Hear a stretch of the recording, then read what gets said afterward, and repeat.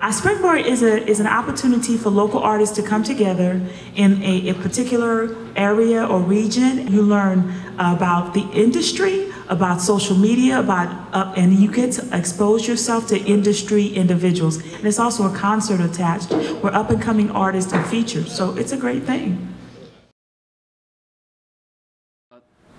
A good way I like to explain it is no matter what you learn in class, no matter how many books you read on it, no matter how many short films you work on with your classmates, there is no other experience that you can get than working on a set. And at HCC, that's why we have the practicum class. It's meant to get you as an intern or make you force you to do your own professional film. And, you know, there's no other experience like that.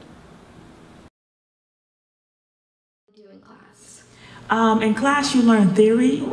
In Springboard, you learn the actual hands-on. This is like a lab, a weekend lab of what you learn in class.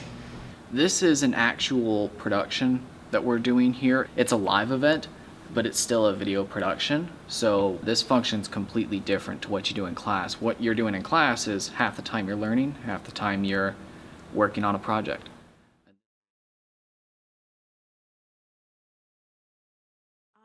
Number one, professors always said be on time, learn to be on time, be willing to do what they're asking you to do, come with a teachable spirit, and come to just be quiet and look and learn.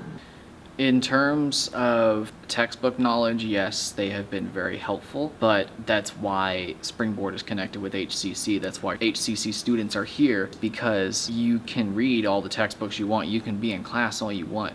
But this here is where you learn real experience. This is where it all starts.